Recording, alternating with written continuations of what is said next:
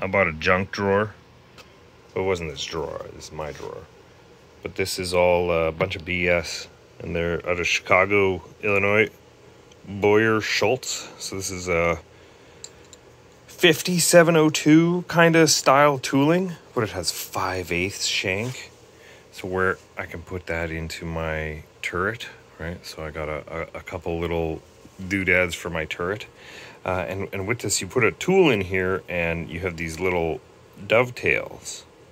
And those dovetails um, would hold the tools wheels, right? So I got a whole bunch of them in this box, but there's these little wheels, and what you did was you put a stock, and it would rub against the wheels, and there was this little, um, I guess it's like a little slot for a um, washer, and that washer sets the depth of this on these little tools.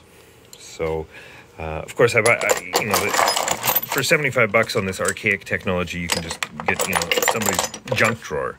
Uh, but uh, I need junk in order to, to, to turn gold, to, to make these gold bars.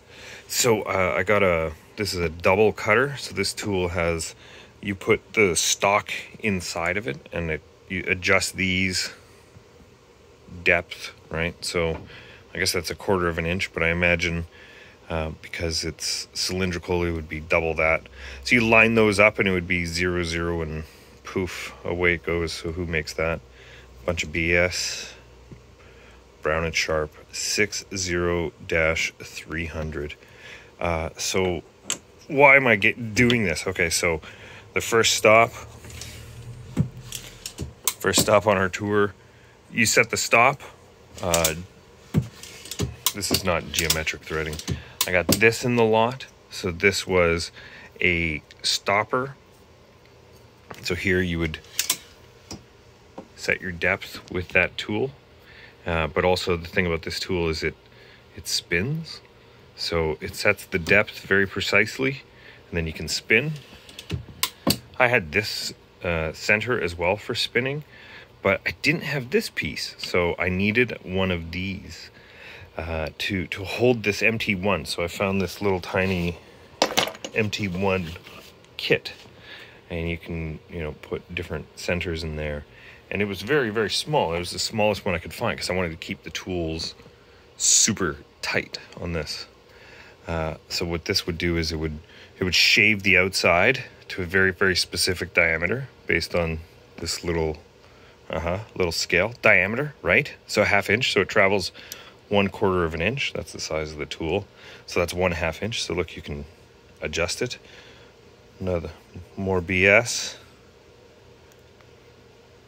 51 100-1. I found some of the rollers. He had a, you know, they had a bunch of them.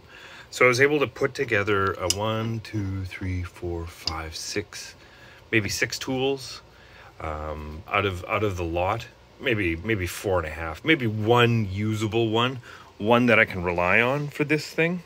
Uh, so what you would do is you would rough cut it here, right?